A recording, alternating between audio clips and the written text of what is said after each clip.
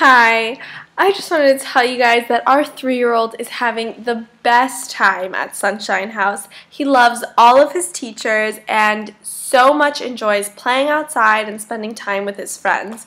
We routinely receive notes home about things that happen during the day, and that helps us feel good about leaving him while we're at work since we know that he's in good hands.